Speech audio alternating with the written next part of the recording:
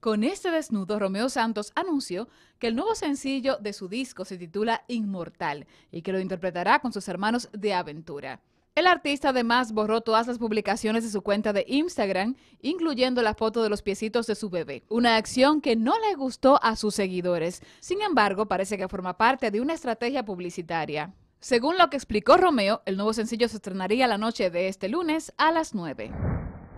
Y en otro orden, La Traviata, una de las óperas más famosas del mundo, llegará este próximo 10 de abril al Teatro Nacional, bajo la dirección artística y musical del maestro José Antonio Molina, la dirección escénica de Eduardo Villanueva y la producción general y escenografía de Fidel López. La ópera en esta ocasión está ambientada en el Santo Domingo, República Dominicana, de los años 50.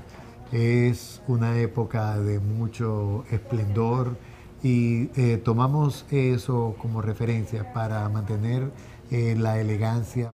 La obra basada en el libro La Dama de las Camelias de Alejandro Dumas narra la historia de amor entre Violeta y Alfredo, un relato de desprendimiento, generosidad y a la vez resignación, contada a través de la música de Giuseppe Verdi.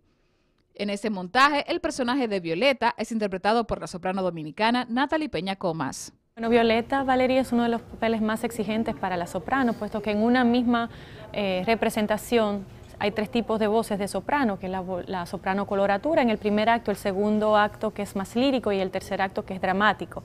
Es decir, que la preparación es bastante intensa y debe hacerse con mucho cuidado para eh, no, mm, desde una misma voz, no maltratarse y lograr los tres tipos de voces eh, de sopranos que se exigen. La pieza cuenta también con las participaciones de grandes talentos nacionales e internacionales como María Caratzaba, David Astorga, Pedro Carrillo, Glenmer Pérez y Pura Tyson, entre otros. Y este lunes se dio a conocer un avance de la tercera temporada de La Casa de Papel. La siguiente tanda de episodios de la famosa serie de Netflix llegará el 19 de julio a la plataforma en streaming. Una temporada que promete ser más épica que las dos anteriores.